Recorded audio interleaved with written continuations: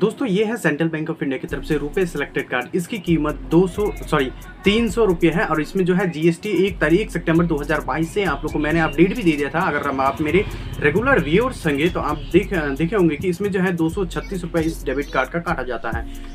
Actually देखिए, दो सौ किसी का दो सौ भी काटा जा रहा है। इसमें जो है सर्विस चार्ज जोड़ा जाता है। सबसे पहले जो है इसका डेबिट कार्ड का इशू फ़ीस है थ्री हंड्रेड यानी कि तीन सौ रुपये और इसमें जो है एक्स्ट्रा जो लिया जाता है, वो है सर्विस चार्ज जिसमें आपको 18 परसेंट जी का पेमेंट करना पड़ता है, यानी कि 18 परसेंट जी एक सितंबर 2022 से ही सेंट्रल बैंक ऑफ़ इंडिया ने अपने डेबिट कार्ड पे जीएसटी लगाया। आप चाहे ये डेबिट कार्ड ले, या आपको ये मास्टर कार्ड मिले, या कोई भी कार्ड मिले। एक्चुअली ये जो कार्ड है ज़ीरो बैलेंस अकाउंट में मिलता है। ये जो है, पहले मिलता था, अब वैसे मास्टर कार्ड बैंड कर दिया गया है। सेंट्रल बैंक ने अभी मतलब बैंड नहीं मतलब एक्चुअली चल रहा है, लेकिन central bank of India master card फ़िलहाल प्रोवाइड नहीं कर रही है। उनके पास है रुपये डेबिट कार्ड और वीज़ा कार्ड और जो है रुपए का तीन चार वेरिएंट कार्ड है, जिसमें रुपए ब्लैक डेबिट कार्ड भी शामिल है। ये बिज़नेस कार्ड है, इसे आप प्रोवाइड कर सकते हैं। इस कार्ड की कीमत 300 और तीन सौ आपसे या तीन सौ काटा जाएगा, जिसमें 18 परसेंट जीएसटी और सर्विस चार्ज कई लोगों का सवाल भी था कि, सर, हमारा दो सौ काटा गया एक्चुअली इसका चार्ज ही है तीन सौ सॉरी दो सौ आपका रुपये वाईफाई लिस्ट डेबिट कार्ड का है। और ये देख सकते हैं मेरा